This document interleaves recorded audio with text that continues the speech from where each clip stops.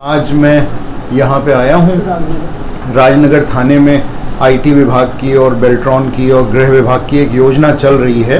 हाँ, प्रत्येक थाने में चल रही है। बिहार के सभी एक हज़ार से अधिक पुलिस थानों और ओपीज़ में सीसीटीवी कैमरा लगाए गए हैं पिछले कुछ सालों में पिछले लगभग दो सालों में मानिए।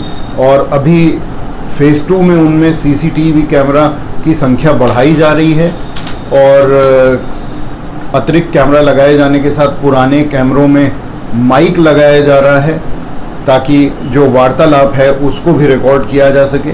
पहले जो स्टोरेज की क्षमता थी उसको भी बढ़ा के अब 18 महीने स्टोरेज इस सारे सीसीटीवी के फुटेज का और रिकॉर्डिंग का रखने का काम हो रहा है। तो वो काम बिहार में टाटा एडवांस सिस्टम्स जो कि एक रेपुटेड देश की कंपनी है उसके द्वारा किया जा रहा है और सभी थानों में काम चल रहा है। तो इसी कार्य का हम लोग निरीक्षण करने के लिए आज यहाँ आए इसका जायज़ा लेने के लिए यहाँ आए मेरे साथ दाहिनी तरफ़ आप देखेंगे तो टाटा एडवांस सिस्टम्स के वाइस प्रेसिडेंट श्री कैरियप्पा आए हुए हैं, जो बेंगलोर से इसी काम के लिए पधारे हैं। तो इनके द्वारा ही इन्हीं के नेतृत्व में ये कार्य अंजाम दिया जा रहा है। ये एजेंसी की भूमिका निभा रहे हैं और कार्य की स्वीकृति स्वयं माननीय मुख्यमंत्री जी ने गृह मंत्री हैं, वो हमारे उस रूप में दी है। कैबिनेट से अप्रूव हुआ है, ये कार्य चल रहा है और मैंने यहाँ पे आके देखा। तो यहाँ पर इस थाने के अगर मैं आपको आंकड़े बताऊँ तो यहाँ पे कुल 12 कैमरा लगे हुए हैं, जिसमें हिक विज़न के नौ हैं और स्पर्श के फिर नए कैमरा हैं। पी टी जेड कैमरा भी हैं, एक जो सामने लगा हुआ है, जो पैन करके चारों तरफ़ लेता है। माइक लगने की प्रक्रिया में है छः माइक लगने हैं पूरे। और इसमें तीन के का सोलर यूपीएस लगा हुआ है और स्टेबलाइज़र भी पाँच के का लगा हुआ है, ताकि जितनी भी घटनाएँ हैं, उनको रिकॉर्ड किया जा सके। तो जैसे आप देखेंगे, ये आंकड़े यहाँ पे दिखाए हैं। जिसमें पिछले कुछ समय में इसकी परफॉर्मेंस 99.98 परसेंट रही है। Ninety nine point nine eight percent का अर्थ हुआ कि अगर दस हज़ार घंटे सिस्टम चला तो दस हज़ार घंटे में सिर्फ़ दो घंटे कुछ कमी हुई। तो ये एक अच्छी बात की ओर संकेत करता है। और ये जो यहाँ पे हमारा नेटवर्क वीडियो रिकॉर्डर है इसमें बहुत सारे एनालिटिक्स भी अवेलेबल है। जैसे ही कोई मोशन होता है कैमरे के सामने वो तुरंत रिकॉर्डिंग हो जाती है। आप उसकी एनालिसिस कर सकते हैं कब कब हुआ उसको पीछे जाके देख सकते हैं।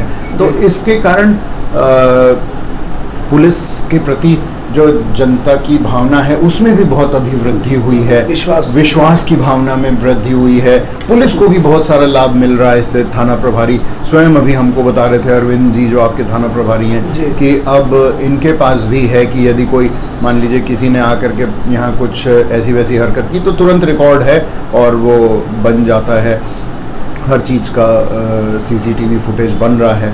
तो इसी के क्रम में हम लोग यहाँ आए थे। मैं इसके पहले मधुबनी का जो अनुसूचित जाति थाना है, उसमें भी देख करके आ रहा हूँ। वहाँ पे भी सिस्टम अच्छे से काम कर रहा है और उसमें एडिशन का काम वहाँ भी चल रहा है और निर्बाध रूप से चल रहा है, कोई समस्या नहीं है। कल मैंने दरभंगा में, दरभंगा महिला थाना देखा था और बहादुरपुर थाना देखा था। तो मुझे संतोष हुआ देख करके और काफ़ी जानकारी भी मिली। जैसे कि इसका सॉफ्टवेयर किस तरह काम करता है, इसकी यूपीएस किस तरह काम करता है, उसमें समस्याएँ कब कब आती हैं, उनका निराकरण करने का प्रोटोकॉल टाटा एडवांस सिस्टम्स ने किस प्रकार कर रखा है, और जो हार्ड डिस्क हैं उनका कन्फिग्रेशन किस प्रकार से है, जो उसमें एडमिन राइट्स हैं, उनको किस तरह से बांटा हुआ है, जैसे इस सिस्टम के एडमिन स्वयं एसपी साहब हैं और इस तरह की बातें हैं तो उनमें हम लोग फाइन ट्यूनिंग जहाँ जहीं कोई सुधार की गुंजाइश होगी तो पुलिस मुख्यालय और गृह विभाग के साथ आ, हम लोग उसमें समन्वय करके फाइन ट्यूनिंग का काम भी कर सकेंगे। तो बहुत सारे इनपुट्स भी उसके लिए मेरे इकट्ठे हुए हैं। तो यही मकसद था यहाँ आने का।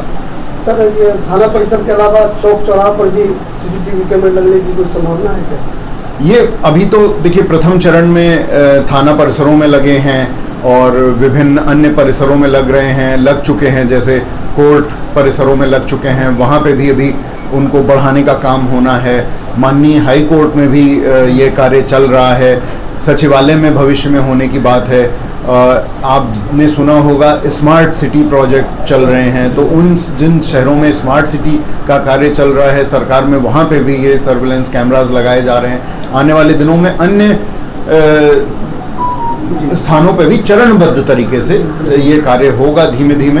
अभी तत्काल तो योजना में स्वीकृति नहीं है, परंतु ये आगे जैसे जैसे आवश्यकता के अनुसार इसमें वृद्धि होती जाएगी।